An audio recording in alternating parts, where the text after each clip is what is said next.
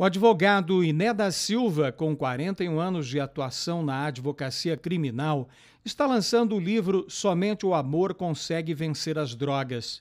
O livro é resultado das experiências vividas na carreira profissional do advogado, convivendo com usuários de drogas e familiares principalmente o crack, que, na visão do criminalista, é o lixo do lixo no mundo das drogas. O pai, a mãe, os irmãos, quando descobrirem que tem um dependente na família, eles devem primeiro não isolar, nem ter vergonha. Pelo contrário, eu não estou dizendo que eles aceitem o vício que eles aceitem a droga, mas não renega o filho, né, tia?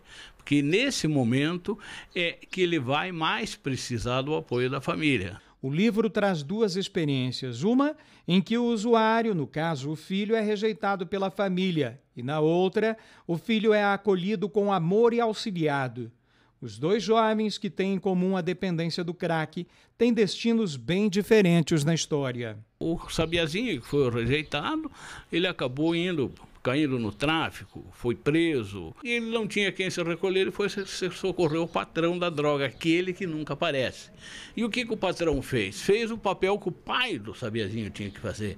Pagou as contas dele, deu uma sobrevivência virou um traficante em potencial. O resultado está ali, né? Foi preso. O Tiquinho também era de uma família boa e a família começou a notar que ele estava com as atitudes estranhas, porque conheceu a pedra, só que esse foi aceito pela família.